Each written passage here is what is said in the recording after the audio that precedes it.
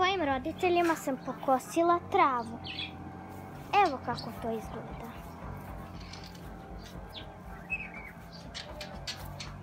Posadili smo neko cvijeće, palmice i još cvijeća. Volimo da nam bude sve čisto i lijepo sređeno. Evo je jedna velika biljka. Mi baš volimo biljke i zato smo ovu usadili, a ona se zove paulonija. Svakog dana zalivamo ovo cvijeće. Cvijeće i biljke, da se ne bi presušili. Ovo je drvo od breskve. Već su počele neke male breskve. A ovo je isto neka biljka.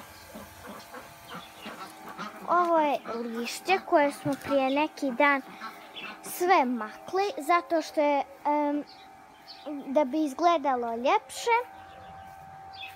I eto, ovako izgleda prečišćavanje mog dvorišta.